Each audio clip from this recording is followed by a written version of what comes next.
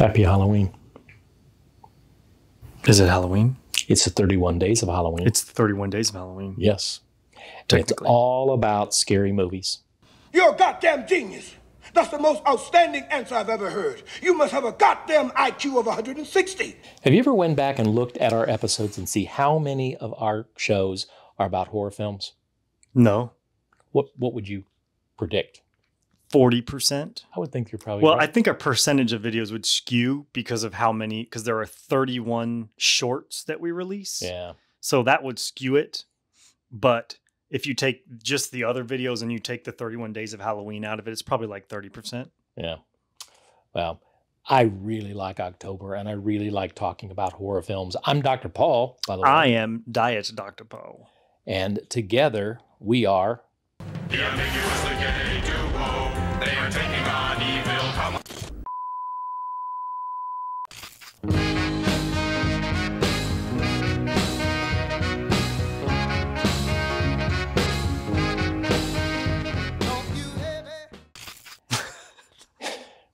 If you liked the scariest horror movies ever made, we're sure you liked the scariest horror movies made part two.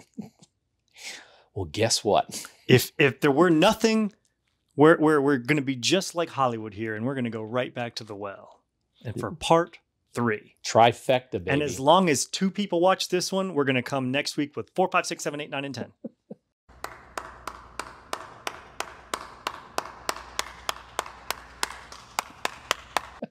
Well, the thing is, is there's so many really, really good horror movies, and and um, and that was certainly the case. It's hard to narrow it down. I don't know if it was for for you. Well, now that we've gotten all the surface level stuff out of the way, it's all about really figuring out what is the scariest Yeah, yeah, yeah. and what makes a movie scary. There's different types of scary to, to to worry about. You know, there's the jump scare. There, I started listing different types of scares, and some of these are very similar. But like, there's the, the impending doom. There's suspense. There's the fight or flight of the jump scare. There's the terror in your face. Then there's sort of the sorrow, and there's the grief aspect. So there's different types of fear and scare, and it's all about which ones work for you. So I tried to come up with some a, a good range of different ones here. yeah. Well, good. Well, this is again the scariest movies. Sometimes scary though, as you've said, you were, you know, I've said before that in order for a horror movie, it needs to be scary, funny, Or gory. or gory, and um, that sort of played out in in mine as as as as well. Mhm. So, you want uh, you want me to get started? You can. I started last. if time. you're new to this, we talk about movies, horror movies, pop culture, model building, superheroes, and and real film, like you know, high quality film, Oscars. You shut up! I'm so fing scared right now. You shut up! Um, and father son, if you hadn't figured it out, I think that's what's called mansplaining. and um, we drop a new episode every single week. We've got like 281 episodes, I think, last time I Mhm. I, I checked. Um, this is going to be what we call the seven, and it is I pick my seven, he picks his seven. I have no idea what he's going to say. He doesn't know what I'm going to say. Oh, sh. What said. what said. Sometimes we get a little bit of overlap on on that. I'm not expecting we're going to see a whole lot uh, this go around, but Mhm. My number seven, Cabin in the Woods, 2012. It's got a Rotten Tomatoes 90, 92. Kids head off, you know, for a weekend in a cabin, and uh, but it turns out to be somewhat of a science experiment. If you haven't, if you haven't seen it, it's very postmodern in the same way that Scream was postmodern. Scream identified various themes in horror, horror tropes, and then they played it. They they brought it to the you know out in the front. They they peeled back the it's like the the fourth wall. They do that as well in Cabin in the in in the Woods. It's directed by Drew Goddard, who was Oscar nominated for the script on uh, The Martian. I don't know if you knew that. Um, and it's directed. Uh, he also directed. Um, uh, Bad Times at the El uh, Royale, which I Mhm. thought was a was a great film. It has Chris uh, Hemsworth in it and Kristen Connolly. This is just a surprising movie. It's not when you sit down and start watching it, you don't realize what it is, and then you know you get into it and you find out, like, okay, now I get it. It's just surprising. And I love things that are unique and different that you've never seen before. And I can't think of another movie at all that's like Cabin in the, the Woods. It's rewatchable over and over and over again. Just a great flick. I'm a big fan of that movie. I, I like that. That's a perfect movie for like a horror movie marathon or a 31 Days of Halloween. Um, it's hard to believe that it's been out that long. When you said was it 2012? Yeah. Jeez, man. But yeah, it's super surprising. Does the whole tropes thing and, and leans into it. Big fan of that movie. Yeah. I like it. Okay. It's almost as good as my number seven, but not quite. 2001. And now you saw this, and probably I'm going to go ahead and guess what he says. He saw this one time. It is 2001's Suicide Club, J horror at its finest. Do you remember that one? I saw it once. The 54 girls that jump on the train tracks. This is just, this is, and I'm not just saying this to be, you know, tongue in cheek. It is J horror at its finest. This movie will get under your skin in part because of the use uh, part in part because of how it, it really connects to today with social media and like just that sort of main character syndrome bleeding through people's heads. But in essence, it's about Japan, and all of a sudden, 54 girls just jump on these train tracks and kill themselves. And it's almost like the idea of suicide becomes contagious or so. But it's the use of this incredible overt gore and the music. It is like pop music that somehow bleeds into the most insane horror soundtracks. But the, the sound is one of the reasons why it's so effective. It just made my stomach turn, and it's from 2001, but it's J horror, so it's always going to look a little bit more fake, even though they lean into it. So I don't know. There's just something about it. It's unnerving to its core and had to be included on this list. I think there's a generational difference between the two of us. And yes, I appreciate we have we've talked ad nauseum on this show about foreign films uh, and foreign horror films, and I think J horror, Korean horror, Chinese horror, Japanese horror, um, that that was really I think that it resonated a whole lot more with your generation than it did mine, um, and it certainly that with that that film I felt like it was almost like if you go to a buffet and you eat too much. At that period of time, I remember I've seen so much J horror. It's like I need something different, Mhm. and I know that's kind of s- silly to say because if I was in Japan, all I would be watching would be Japanese films, Yeah. kind of kind of stuff. But it's you you you know there's a sensibility sometimes in Japanese uh, uh, films or Chinese films that's a little bit different from Western uh, films, and maybe I'm just not as accustomed to it. But I saw it one time. Um, and and it didn't have the same impact on me, but I think the people that are watching our our are listening to our show right now probably resonates a whole lot and they'll think, yeah, I remember how good that really was. That needs to be on a list. It's a good like double feature with the movie called Pulse that we talked about last year, which was on my scariest movies ever made list. Might have been on the second one. It's second. Yeah. Um, but it's it's about you know the internet and how it's going to change things and the fears that it brings in. It's got a nice little theme to it, but good film. yeah. Oh, good job. Number six for me, which you might be surprised, Evil Dead Rise, 2023. Um, Rotten Really? Tomato 80, 84. Yeah. uh, directed by Lee Cronin, um, who has two more horror films in the works. Um, you know, you you when you hit a home run, then they start throwing money at you and give you uh, a little bit more freedom, and so there's Mhm. no details on what those are going to look like.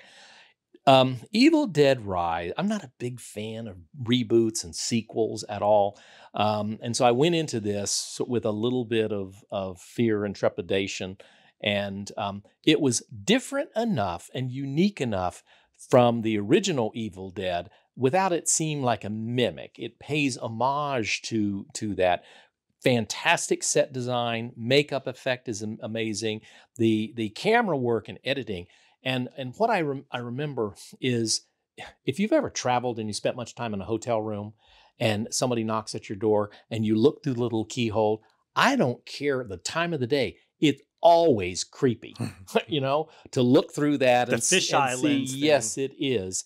And they play this up in this in this thing so much um, that really evokes this really kind of creepy, creepy thing. And it's also, you know, in Night of Living Dead, the the the, the I think the the scariest scene in Night of Living Dead is in the basement when uh, uh, Kyra Schon, I think is her name, with a little girl, Mhm. and she stabs the mother with a trowel Mhm. there's something about family And when when a zombie or a demon or whatever is a family member and kills their family or preys on their family, it's just terrifying. Mhm. And they really play that up. That's something that the original That's Evil all Dead this is, series- yes, it didn't have it. But uh, I, I don't know that I liked it as much when we first saw it. I think you'd be surprised it's on my list. Very. But it really sort of grows on you a, a, a little bit, and and I think yeah, I, I, I like it a lot more than when I think about like if I were to just throw a, number rating out it, it'd be a lot lower than I think if I really thought about the movie because it is kind of a good movie and it's is very disturbing and gory and over the top, but it does have this visceral quality to it. Yeah. Uh, and I, I would agree with everything you just said. Good stuff. All right, number six. This is the one that I think you should see if you've not seen it. And I don't know how I didn't see this thing. And I'm not, not sure what I was smoking, what made me miss this, but it's from 2020 and it's called The Night House. Um, 88% on Rotten Tomatoes, 6.4 out of IMDb, directed by David Bruckner, starring Rebecca Hall, uh, Sarah Goldberg, and Evan Jonigkeit.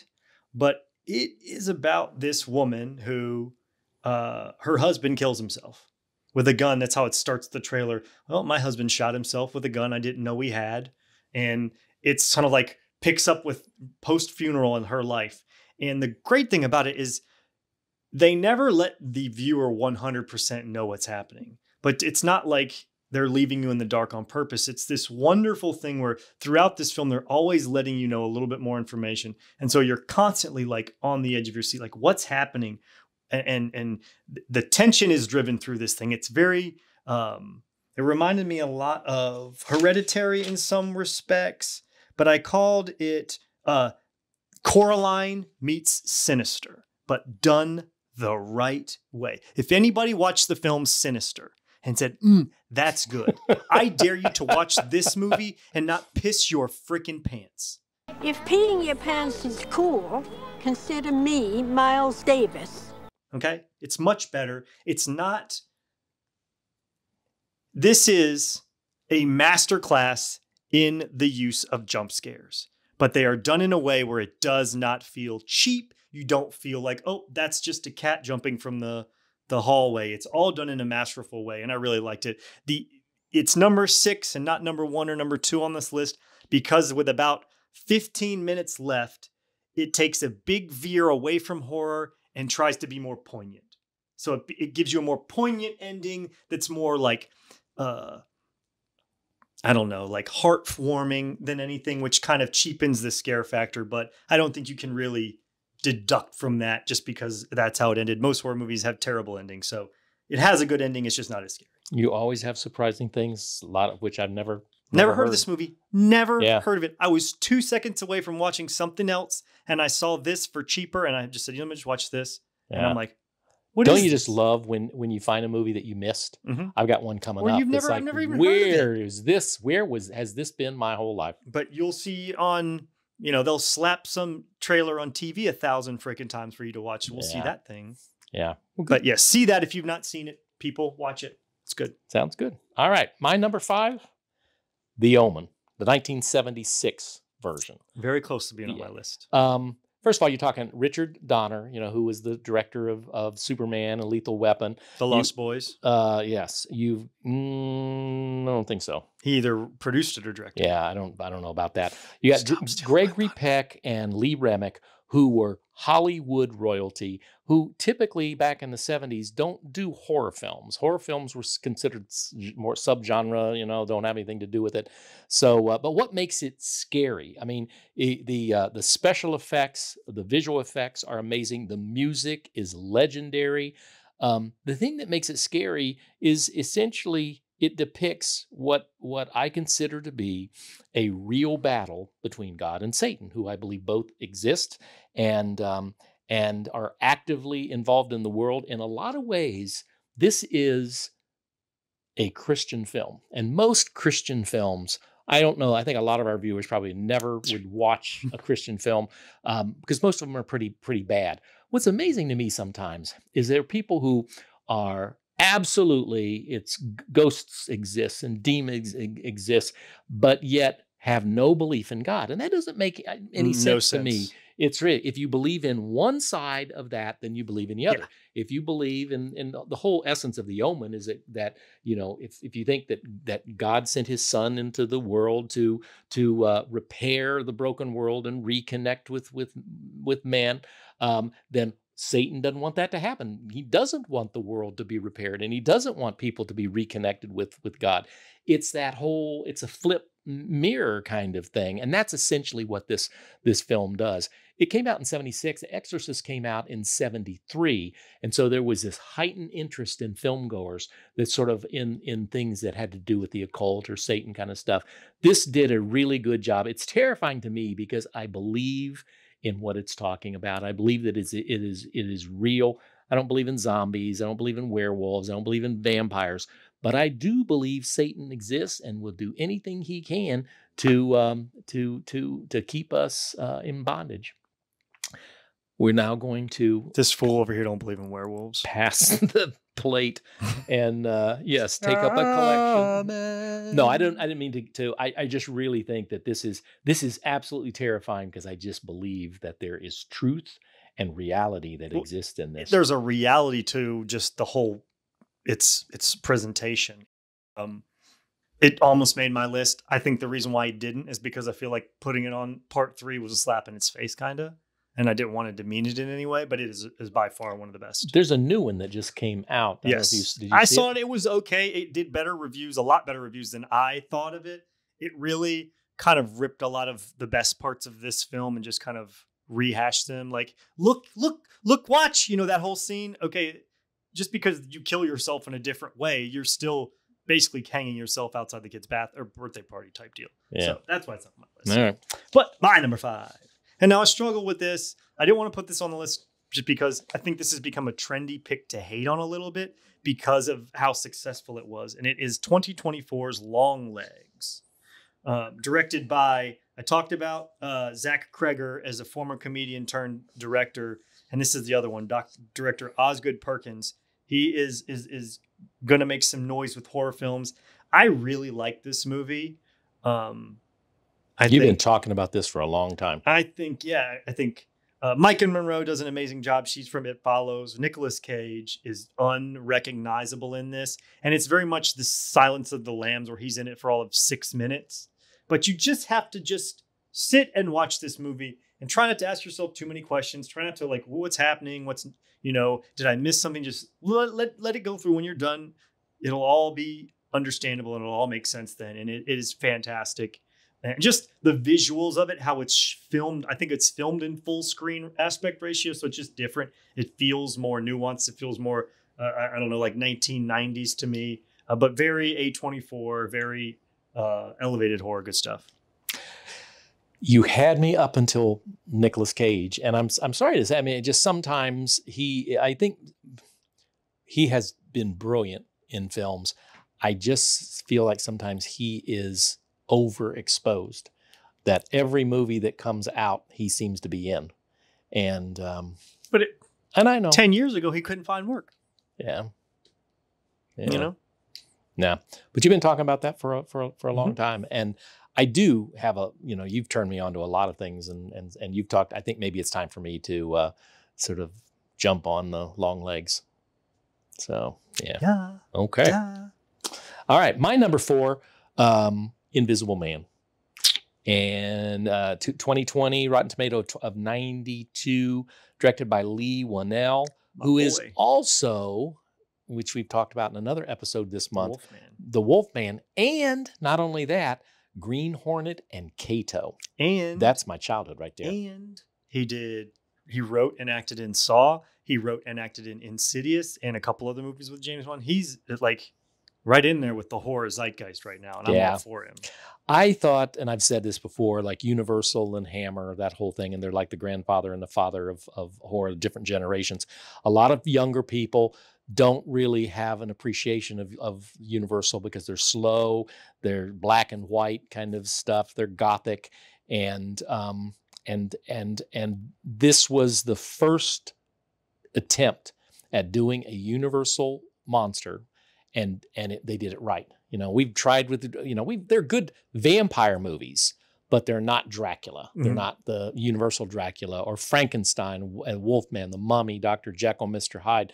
Um, this was the first time, and because it was about something, it wasn't just the you know a, a, it- uh, a monster, but it was it had as good horror comments on society it Mhm. comments on culture and family or whatever and this was a great movie uh, i cannot wait for this to uh, to happen it was also when you think about it it's easy to be scared of a vampire or a werewolf what's so scary about the invisible man kind of stuff this really was terrifying Well, that's what know? it is. They put something on its ear. What made him scary is he's just a guy. Well, no, he's a basically someone who's a, a, someone just steeped in domestic violence and just doesn't give a crap about your well being. Mm. He wants you back, yeah and he's got the wealth to do it. Right. His brother's a lawyer. I mean, they set this thing up Yeah. perfectly. It is a terrifying movie, and I'll tell you what, it would have been on my list if I hadn't watched Suicide Club recently. Probably, it's the movie that got kicked off. But I'm glad because then you put it on. yeah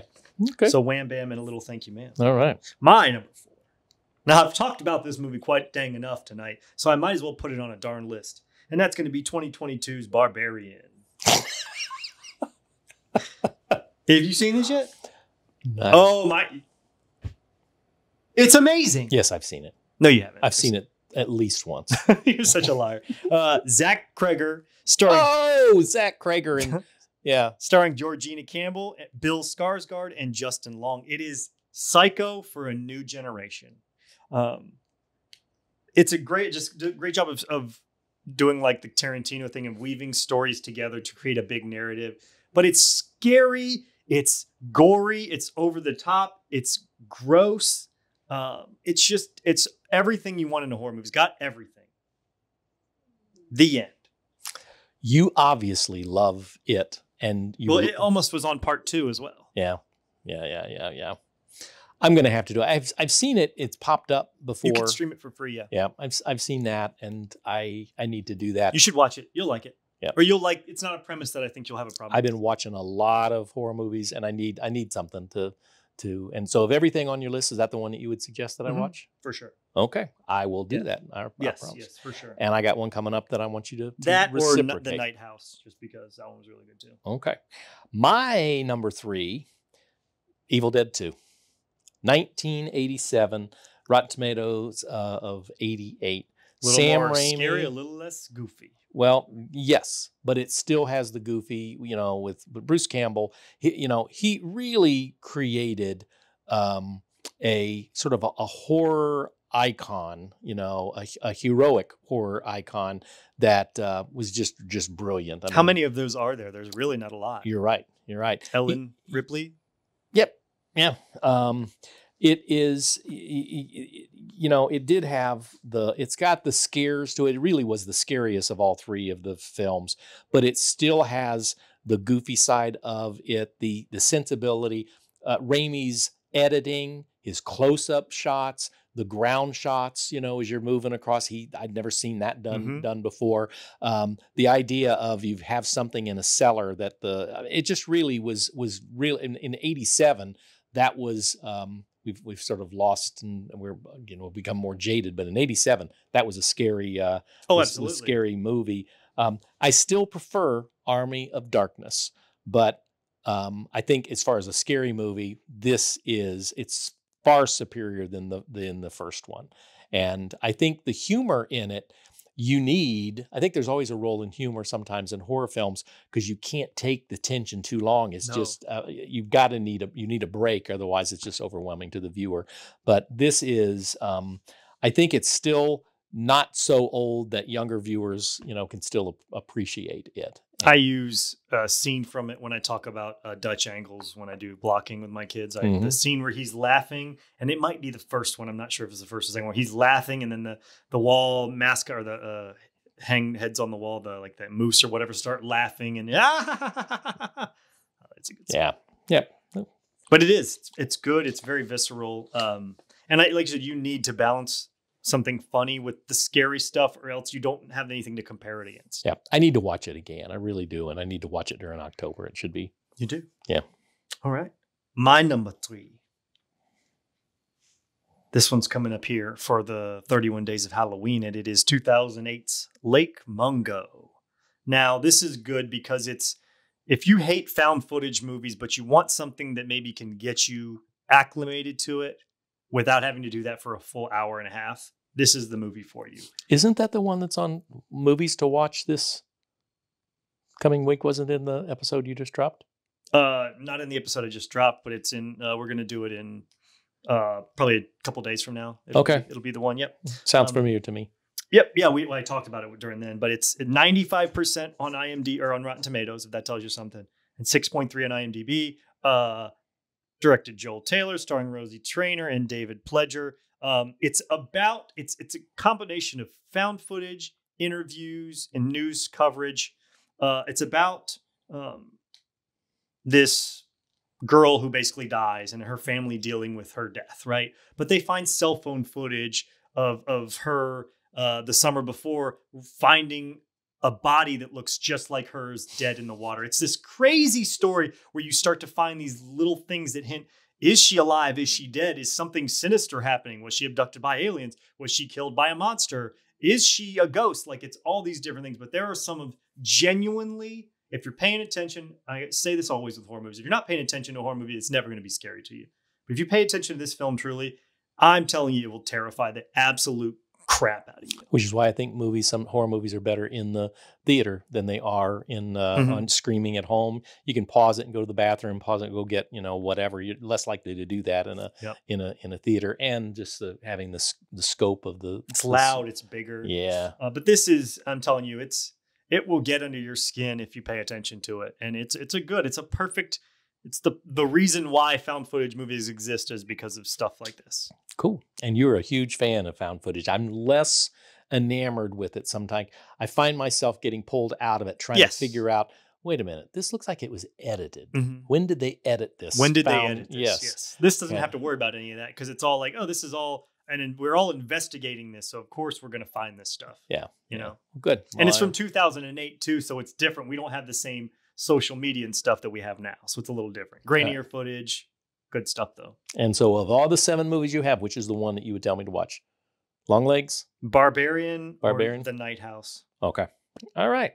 My number two is what I want you to watch, which is I watched um, Barbie girl. Friday, um, Ravenous. Okay.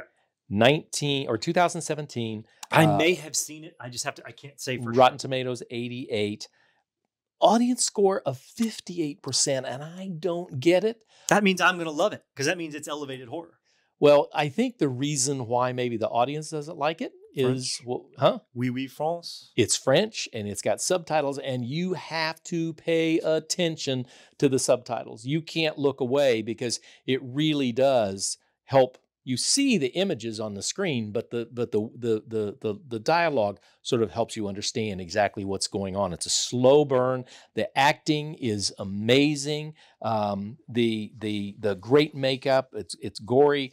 Um, it is a zombie film essentially, and it is about a group of survivors, and they sort of are going out hunting uh, zombies. But the zombies have more, you know, in in City of the Dead, um, where the zombies sort of had. you mean Land of the Dead? Land, Land of the Dead. you said City of the Dead, but I know what you're talking about. 'cause Yes. it's the one with the city in it. it's it's where they sort of find their own sort of social network. Yes. and you get the um, that in this as as well, and it's almost like the zombies have a religion. The fawns be with you. And also with you. Let us a.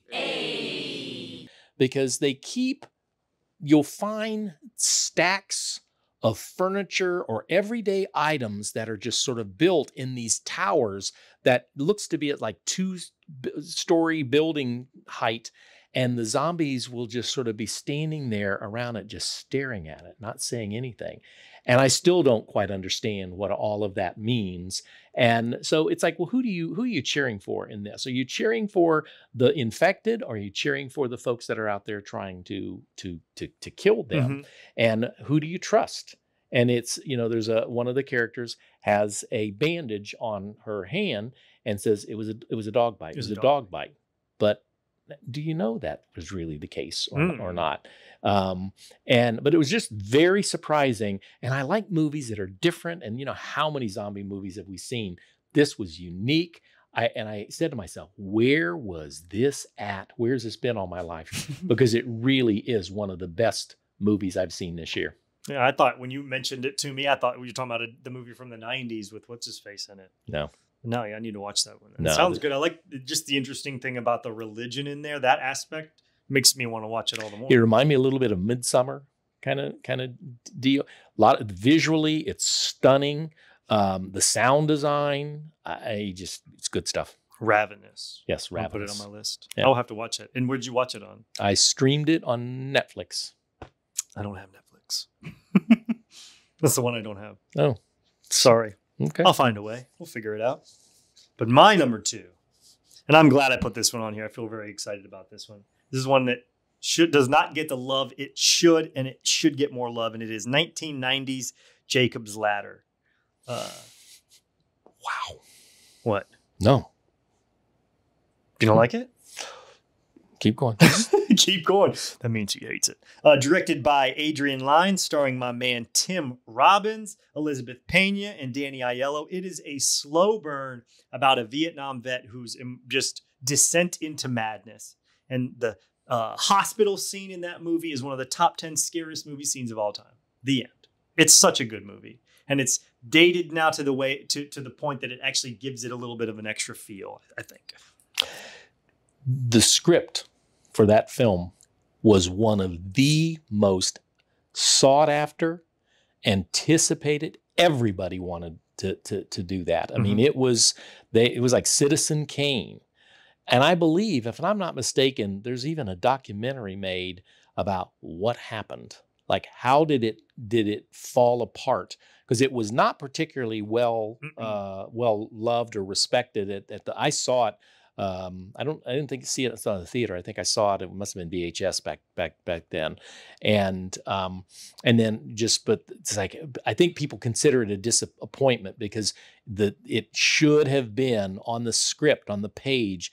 It was supposed to have been really something. Well, they tried to remake it, and it's the remake's terrible. Yeah, So Yeah. maybe it's just not. I need to go back and look at it with new eyes, you know, with 68 year old eyes, uh, kind of thing, because I do remember it's very creepy. Mhm. And it reminds me a little bit of uh, Kingdom um, Hospital, which Okay. is a Dutch film. I think I've told you talked about, about it, yeah. before.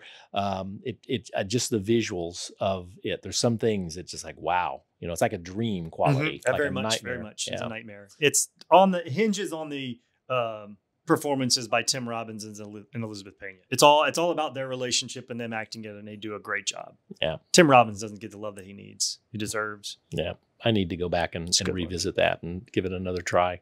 And I'm probably if on they're probably even like making of special features or something. I don't know, or certainly reading. You know, going to wiki and What happened with it? Yeah, I didn't know about any of that. So No, no, they were. They thought that this people were. It was a bidding war of who who was oh, going to be able to get, it? that. Yeah, Yeah, what company? Yeah. All right. Um, my number one, which you might be surprised, is um, 2008's Orphanage. No, Um, that one considered. Considered Rotten. Tomatoes 80, 87. Um, it- J. Uh, uh, Bayona, which did Lord of the Rings, uh, Rings of Power, did Jurassic uh, uh, Fallen Kingdom. Uh, Guillermo del Toro was uh, helped produce it, and it clearly it shows. It's very, very creepy. Uh, set design is amazing. Essentially, a woman grows up in an orphanage, and then as an adult, convinces her husband that they're going to buy it and they're going to turn it into like a. Uh, it's not a bed and breakfast. I think it's more of like a place that they wanted to to turn into a place that they could help people a boarding house and they do it and things strange things her son uh, disappears and it's just sort of this unfolds the the visuals on this you know sometimes there's monsters that when you see them they're truly terrifying and there's something terrifying about the the the little tiny ghostlet thing with the little mask that they wear Mhm. if i saw that thing your pants. it really would you'd be pooping your rompers it uh, so but it's very very creepy it's a foreign film again Um, very highly, uh, highly uh, uh, thought of. It's I, in fact when I I thought, oh, that's Del Toro directed that. No, he didn't. But you feel his fingerprints are are just all over it. Last thing I'm going to say about it is Geraldine uh, Chaplin is in it and did a great job and and has got a lot of attention for it. Geraldine Chaplin is the daughter of Charlie Chaplin. Huh. And um, she is, yeah, she's really, you know, she looks a lot like him, I didn't know that. except for the mustache. Not bad. Yeah. That's a good movie too. I like that one. That one I considered it. Very much considered that one. Very Yeah. creepy film. All right. So my number one. Now you may have put this one on one of your lists. I'm almost certain you did. But I had to put it here because it deserves to be here. And that would be 1980s The Shining. Hmm. The fact that I haven't put it on here, yes, is a slap to my main man Kubrick's face. Because there's probably not a movie that's scarier for longer stretches of time.